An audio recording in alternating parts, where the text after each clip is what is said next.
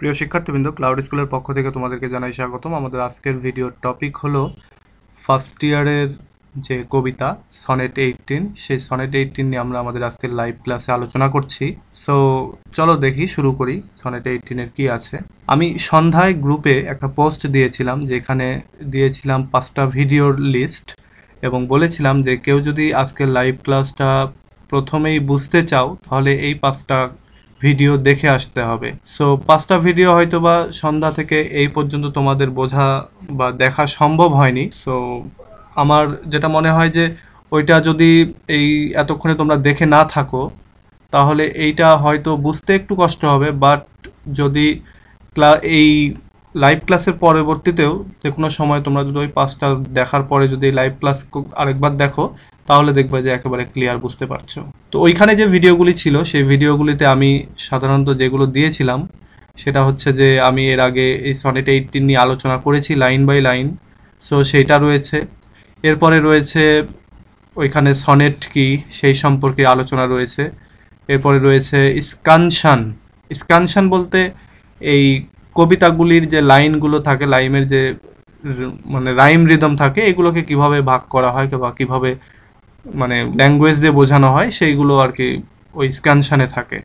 তো এইটা তোমরা ধীরে ধীরে জানতে পারবে। আজকে বিচলিত হওয়ার মতো কিছু নেই। আজকে আমরা জাস্ট সনেট এইটিনে মনোযোগ দেবো এবং সনেট এইটিন আমি, আমার মনে হয় তোমরা যদি ক্লাস করে থাকো তাহলে তোমাদের ক্লাসে অলরেডি হয়তো বা আলোচনা করেছেন টিচাররা আর যদি ক্লাস না করে থাকো, তাহলে এই ক্লাসের আগে আশা করি তোমরা সনেট এইটিনটা আমার ভিডিও দেখেছ। অথবা এই ক্লাসের পরে তোমরা সনেট এইটিনটা দেখে এই ক্লাসটার সঙ্গে মিলিয়ে নিও। তাহলেই তোমরা খুব ভালোভাবে বুঝতে পারবে। আচ্ছা তোমরা শুনতে পাচ্ছ কিনা একটু জানাও। শুনতে ভালোভাবে যদি শুনতে পাও এবং স্ক্রিনটা দেখতে পাও, তাহলে আমি সামনে এগোবো।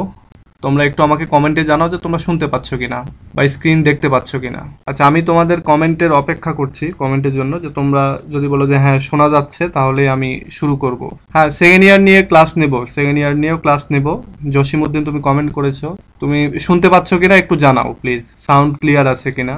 ওকে একজন লিখেছে যে হ্যাঁ শোনা যাচ্ছে। তো ঠিক আছে, আমি এবার সামনে এগোই। দেখো, আমাদের লাইভ ক্লাসে আমি আগেই বললাম যে সনেট এইটিন নিয়ে আলোচনা করব। তো সনেট এইটিনের যেই লাইন বাই লাইন ডিসকাশন সেটা আমি ভিডিও লিঙ্ক দিয়েছি, তোমরা ওটা থেকে দেখে নিও। ওই ভিডিও দেখার পরের যে আলোচনা, সেই আলোচনাটা আমি করছি। দেখো, এই লাইন বাই লাইন আলোচনা করার পরে, কোনো কবিতা নিয়ে আলোচনা করতে গেলে সাধারণত যেটা আলোচনা করা হয়, কবিতার যে ক্রিটিক্যাল অ্যাপ্রিসিয়েশন সেইটা। ক্রিটিক্যাল অ্যাপ্রিসিয়েশন হচ্ছে লাইন বাই লাইন যে আলোচনা করা হয়, এইটার বাহিরেও আরও এই কবিতাতে অনেক বিষয় থাকে। যেমন এই কবিতাটি সনেট কিনা বা ওই কবিতার সনেট হলে সনেটের কোন কোন রীতি মেনে এই কবিতাটি লেখা হয়েছে, এখানকার রাইম কেমন, এখানকার রিদম কি আছে, এখানে আরও বিস্তারিত, এখানে সাবজেক্টিভ না অবজেক্টিভ, এই বিষয়গুলো অনেক জিনিস এখানে থাকে। সো আমি সেইগুলো নিয়ে এখন এই ক্রিটিক্যাল অ্যাপ্রিসিয়েশনে আলোচনা করছি। ক্রিটিক্যাল অ্যাপ্রিসিয়েশন বলতে মানে এই সনেট এইটিনের ক্ষেত্রে যেগুলো রয়েছে, সেগুলো চলো দেখি আমরা। দেখো, শুরুতেই এটা হচ্ছে একটি সনেট তোমরা জানো যে সনেট সাধারণত চোদ্দ লাইনের লেখা হয়ে থাকে। তো শেক্সপিয়ারের এই, এইটা একটি সনেট এবং এই সনেটে তিনি চোদ্দোটা লাইন ব্যবহার করেছেন। চোদ্দোটা লাইন লিখতে গিয়ে তিনি তিনটা কোয়াট্রেইন লিখেছেন এবং একটা লিখেছেন হচ্ছে কাপলেট কোয়াট্রেইন মূলত চার লাইনের হয়ে থাকে। এবং কাপলেট হচ্ছে দুই লাইনের। আমি আবারও বলছি কোয়াট্রেইন যেটা, সেটা চার লাইনের হয়ে থাকে এবং তিন চারা বারো, তিনটা কোয়াট্রেইন রয়েছে এবং একটা কাপলেট রয়েছে। অর্থাৎ দুই লাইনের যেই ছন্দগুলো, সেগুলোকে বলা হয় কাপলেট সো এই তিন চারা বারোতে তিনটা কোয়াট্রেইন এবং দুই লাইনের একটা শ্লোক রয়েছে এবং সেটা হচ্ছে কাপলেট এই টোটাল চোদ্দ লাইনের। আচ্ছা চলো আমরা দেখি এটা যে শেক্সপিয়ারের এই যে সনেট এইটিন যেটার প্রথম line shall I compare thee to a summer's day এইখানে কবি মূলত এই কবিতায় তার একটা বন্ধু, একটা ফ্রেন্ড তাকে ট্রিবিউট করেছেন। তার প্রশংসা ধ্বনি এখানে তিনি ব্যক্ত করেছেন বা তার প্রশংসা করেছেন। এবং তিনি এটা প্রশংসা করতে গিয়ে তিনি অনেক কিছুই বলেছেন। এবং এই আচ্ছা শুরুতে আরেকটা জিনিস বলিনি, এটা সনেট এইটিন কেন নাম হলো?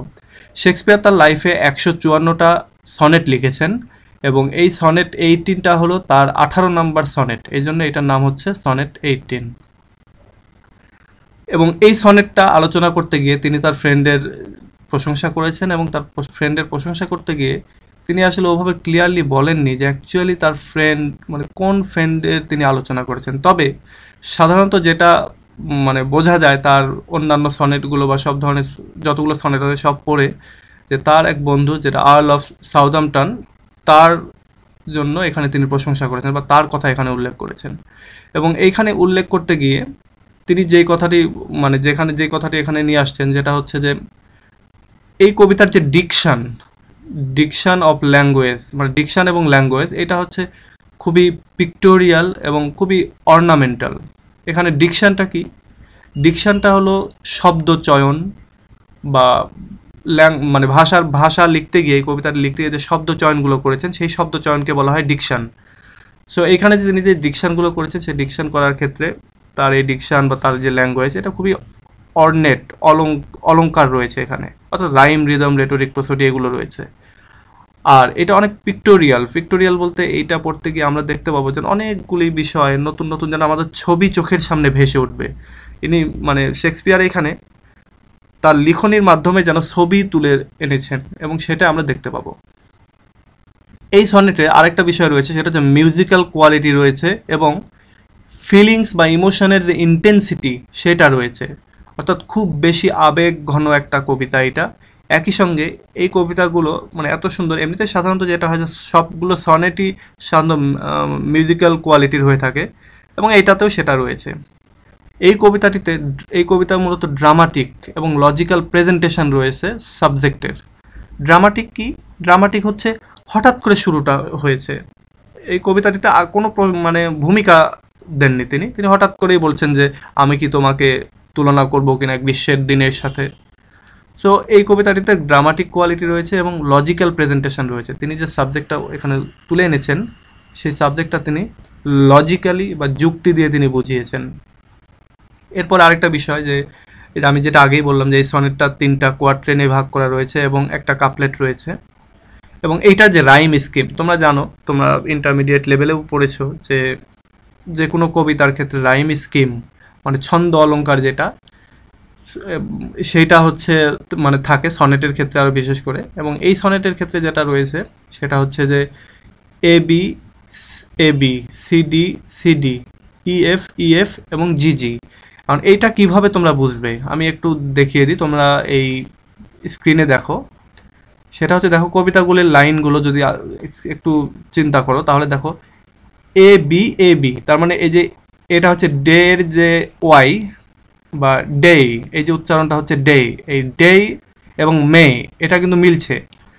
আর টেম্পারেট ডেট, এটা কিন্তু মিলছে। সুতরাং এইটা হচ্ছে এ পরেরটা টেম্পারেট এটা হচ্ছে বি এরপর এটা এ যেমন ডে আছে, এই মেটাও কিন্তু এ দেখো একই সঙ্গে যেন মিলে যাচ্ছে।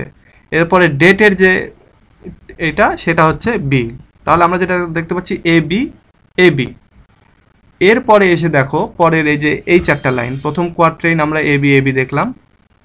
পরের কোয়ার্ট্রেইন এসে দেখো, আছে হচ্ছে সি এরপরে আছে ডি আবার দেখো সি তারপরে আবার আছে ডি তাহলে সিডি সিডি আমরা দেখতে পেলাম। এরপরে যেটা আছে, দেখো ইএফ ইএফ একটু খেয়াল করে দেখো যে মিলে যাচ্ছে কিন্তু। আর শেষের দুইটা লাইন, দেখো মানে এটা ইএফ ইএফ করে মিলিয়ে দেখো তোমরা তোমরা বুঝতে পারবে। আর শেষের লাইন, দেখো সি ডি এই যে এখানে দেখো দুইটাই মানে জি জি আছে। জি জি, অর্থাৎ শেষের শব্দগুলি মিলিয়ে সাধারণত এই রাইম স্কিমটা বের করা হয়ে থাকে। তো আশা করি এটা তোমরা বুঝতে পারবে। আর তোমরা যারা এর আগেও ইন্টারমিডিয়েট লাইফে সনেট পড়েছে, বিশেষ করে মাইকেল মধুসূদন দত্তের যে সনেটগুলি রয়েছে বা অন্যান্য আরও যে সনেটগুলি রয়েছে, সেগুলো যারা পড়েছে, তারা আশা করি বুঝতে পারবে এটা। তো এই যে A B A B CD CD EF EF GG এইটা রয়েছে এই মানে এই সনেটটার ভেতরে। আচ্ছা এই এই যে সনেটটা, এই সনেটটা মূলত একটা টিপিক্যাল শেক্সপিয়ারিয়ান সনেট। অর্থাৎ শেক্সপিয়ারের যে সাধারণ যে সনেটগুলি, সেই সনেটগুলির মতোই এটাও একটি সাধারণ সনেট। আচ্ছা এবার দেখি এই সনেটের ভেতরে কি বলছে, একটু আলোচনা করি এটা। এতক্ষণ যেটা আমি বললাম, এটা হচ্ছে ভূমিকা বলতে পারো। শেক্সপিয়ার এই সনেটের ভেতরে তিনি তার বন্ধুর যে বিউটি, তার বন্ধুর যে সৌন্দর্য, এটাকে তিনি গ্লোরিফাই করেছেন। এটাকে তিনি তুলে এনেছেন, এটাকে তিনি প্রশংসা করেছেন। এবং এই কবিতাটিতে তিনি ড্রামাটিক্যালি শুরু করেছেন এই বিষয়টা। তিনি বলছেন যে shall I compare thee to a summer's day আমি কি তোমাকে দিনের মানে গ্রীষ্মের দিনের সাথে তুলনা করব? তোমরা জানো যে, ইংল্যান্ডে সাধারণত গ্রীষ্মের দিনগুলি অনেক বিউটিফুল হয়, অনেক চমৎকার হয়। এবং এই সময় মানুষ সানবাদ করে, এটা সেটা করে। তোমরা সি বিচের দিকে যদি তাকাও, অনেক মজার মজার জিনিস দেখতে পাবে। তো এই সময়টাতে আর কি খুব চেয়ারফুল থাকে মানুষ। এবং সেই দিনের সঙ্গে তুলনা করে করছেন কবি তার ফ্রেন্ডের কিন্তু তুলনা করে আবার কি বলছেন, এটা আমরা পরে জানব। আচ্ছা এই যে সামারের যে দিন, সেটা ইংলিশে বা ইংলিশ লিটারেচারে যেটা হয়, যে এটা স্ট্যান্ডস ফর ইউথ তারপরে এনার্জি তারপরে কালার সফটনেস ওয়ার্ম তারপর ফ্র্যাগরেন্স এগুলোর এগেনিস্টে বসে আর কি। সামার মানেই মানে তারুণ্য, যৌবন কালারফুল তারপরে এনার্জেটিক উষ্ণ সফটনেস এরকম কিছু। কিন্তু এই কবিতায় আমরা যেটা দেখতে পাচ্ছি সেটা হচ্ছে যে কবি বলছেন যে, তোমাকে কি আমি সামারের সাথে তুলনা করব? এইটা বলার পরে তিনি আবার যেটা বলছেন যে, না, আমি সামারের সাথে তুলনা করব না। কেননা সামারের কিছু ইমপারফেকশন রয়েছে সামারের কিছু খারাপ দিকও রয়েছে কিন্তু তোমার ভেতরে এমন কোনো খারাপ দিন নেই। দেখো, এখানে বলছে শুরুতেই যে shall I compare thee to a summer's day না মানে ব্যাপারটা এরকম যে, এখানে একটা নেগেটিভ টোন যে, না, আমি করব না। কেন? কারণ দাও আর্ট মোর লাভলি তুমি আরও বেশি চমৎকার অ্যান্ড মোর টেম্পারেট তুমি আরও বেশি উষ্ণ। কেন এটা সামারের সাথে তুলনা করছে না? কারণ সামারে রাফ উইন্ড থাকে, যেগুলো ডার্লিং বার্ডস অফ মে মানে গোলাপ ফুল গোলাপ ফুল বা মে মাসের যে ফুলগুলি, সেই ফুলগুলিকে মানে ঝরিয়ে দেয়। তারপরে সামারের সময়টা অনেক কম। সামার স্লিজ বলতে সামারের সময়। সামারের সময়টাও অনেক কম হয়ে থাকে।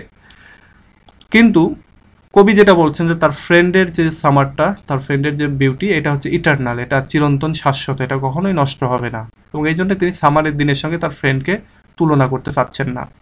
সামারের দিনের আরও কিছু নেগেটিভ বিষয় রয়েছে, যেমন এই সময়ে সূর্যটা খুব হট থাকে এবং এই যে সে মানে খুব কঠিন প্রখর তাপমাত্রা এটা মানে কিরণ দিয়ে থাকে। এরপরে বলছে যে গোল্ড কমপ্লেকশন যেটা যেটা রোদ, সেই রোদটা অনেক সময় ডিম হয়ে যায়, মেঘে ছেয়ে যায়। এবং তিনি আরেকটা স্টেটমেন্ট এখানে দিয়েছেন যে প্রত্যেকটা সৌন্দর্যই একটা সময় নষ্ট হয়ে যায় অর্থাৎ fair from fair sometime declines সামারের বা এমনি প্রকৃতির প্রতিটা সৌন্দর্যই একটা সময় নষ্ট হয়ে যায়। সেটা বাই চান্স অর্থাৎ দৈবক্রমে, কোনো দুর্ঘটনাক্রমে ঘটতে পারে অথবা নেচারের যে চেঞ্জিং একটা বিষয় রয়েছে প্রকৃতি যে সবসময় পরিবর্তনশীল, সেই নিয়মের মাধ্যমে হলেও প্রকৃতির সব কিছু একটা সময় চেঞ্জ হয়ে যায়। থার্ড কোয়ার্টারে দেখো সে যেটা বলছে কিন্তু thy eternal summer shall not fade কিন্তু তোমার যে ইটার্নাল সামার এটা কখনোই শেষ হবে না। আচ্ছা। আমি একটা বই ওপেন করে আছি এবং এই বই থেকেই তোমাদেরকে বুঝিয়ে দিচ্ছি। সরি আচ্ছা এবার দেখো কবি এখানে যেটা বলছেন যে এভরিথিং সেটা বাই নেচার হোক আর অ্যাক্সিডেন্টালি হোক না কেন, সেটা একটা সময় ধ্বংস হয়ে যায়। কিন্তু তার যে ফ্রেন্ডের যে সৌন্দর্য, এটা কখনোই মানে ধ্বংস হবে না। এবং তার এই ফ্রেন্ডের সৌন্দর্যটা হচ্ছে ইটার্নাল সামার এবং এটা দেখো এই যে এই লাইনে কিন্তু সে এটাতে বলছে। আর এখানে বলছেন যে every fair from fair sometime declines তো এটা নিয়ে আমি আলোচনা করলাম। আচ্ছা সব শেষে কবি যে বিষয়টা বলছেন যে তিনি তার ফ্রেন্ডের ব্যাপারে এতটাই কনফিডেন্ট তিনি এখানে বলছেন যে মানুষ যতদিন বেঁচে থাকবে এবং মানুষ যতদিন তার দুই চোখ দিয়ে দেখবে, ততদিন তুমিও বেঁচে থাকবে মানুষের মাঝে এবং মানুষ আমার এই কবিতাও পড়তে থাকবে এবং তোমাকে মানে আমার কবিতা পড়তে থাকবে বা আমার কবিতা বেঁচে থাকবে এবং তুমিও ততদিন বেঁচে থাকবে। একটু দেখো কবি এখানে কতটা কনফিডেন্ট যে আজ থেকে পনেরো মানে পাঁচশো বছর আগে লিখেছেন, এতদিন পরে এসে আমরাও তার ফ্রেন্ডকে স্মরণ করছি। সো কবি যে ওই সময় কনফিডেন্ট ছিলেন, সেই, এই দুইটা লাইন দিয়ে বোঝাচ্ছে এবং এটা আসলে কিন্তু এখনও আমরা পড়ছি। সো এই হচ্ছে এই কবিতাটির যেই আলোচনা সেটা। তো আমরা এখান থেকে আরও বেশ মানে আরও বেশ কিছু জিনিস মানে এক্সপ্লোর করার চেষ্টা করব এর ভেতরে বের করে আনার চেষ্টা করব। দেখো, এখানে কবি, আমি যেটা বললাম যে কবি তার যে পোয়েট্রির যে পাওয়ার সেই পাওয়ারটাকে তিনি মানে এখানে অ্যানাউন্স করছেন যে তার কবিতার একটা পাওয়ার রয়েছে এবং সেই কবিতার পাওয়ারটাই তার ফ্রেন্ডকে সারা জীবন, হচ্ছে, বাঁচিয়ে রাখবে। এবং সেটাই কিন্তু হচ্ছে, দেখো। আচ্ছা এরপরে দেখো যে এই কবিতাটি মূলত সাবজেক্টিভ মুডে লেখা হয়েছে। এই কবিতাটিতে একটা সেকেন্ড পার্সন সে তার যে আর্গুমেন্টগুলি সেগুলো সে শো করছে এবং সাবজেক্টিভ মুডে অর্থাৎ একটা কবিতার দুইটা মুড থাকতে পারে। একটা হচ্ছে সাবজেক্টিভ আর একটা হচ্ছে অবজেক্টিভ সাবজেক্টিভ হচ্ছে কবিতার নিজের সম্পর্কে বা নিজের কোনো কিছু সম্পর্কে সে আলোচনা করে। আর অবজেক্টিভে হচ্ছে কবি অন্যের কোনো বিষয়ে বা অন্য কোনো ব্যক্তি বা বস্তু সম্পর্কে আলোচনা করে। তো এই কবিতাটিতে কবি সাধারণত তার বন্ধু সম্পর্কে আলোচনা করছে এবং অনেকবারই তিনি এখানে এখানে যে টোনে কথা বলছেন তাতে আই আই ব্যাপারটা কিন্তু চলে আসছে। তো এই দিক দিয়ে মূলত এটা একটি সাবজেক্টিভ মোডের কবিতা। তোমরা, তোমাদের পরীক্ষাতে অনেক জায়গায় লিখতে হতে পারে যে এটা কোন মোডের। তো তাহলে সেটা তোমাদেরকে বলতে হবে, এটা সাবজেক্টিভ মোডের। এরপরে দেখো যে সাবজেক্টিভ মোডের এটা একটা কবিতা এবং তিনি সাবজেক্টিভ মানে এখানে কবি অনেক ধরনের ইমেজ ইউজ করেছেন। ইমেজ বলতে আমি যেটা একটু আগে বলেছিলাম যে পিক্টোরিয়াল কোয়ালিটি রয়েছে। অর্থাৎ এর ভেতরে অনেক ধরনের এটা পড়তে গিয়ে অনেক ছবি আমাদের চোখের সামনে ভেসে উঠবে। যেমন ধরো একটা the darling birds of May এই যে এখানে যেটা রয়েছে darling birds of May darling birds of May বলতে মে মাসের যে সুন্দর সুন্দর ফুলের যে কুড়ি বা ফুল বা ইংল্যান্ডে যেটা বলা যায় সেটা হচ্ছে যে গোলাপ ফুল। এরপরে রয়েছে দেখো সামার্স লিজ অর্থাৎ সামারের যে সময় বা একটা সিজনের যে, একটা ঋতুর যে সময়, সেই সময়টা।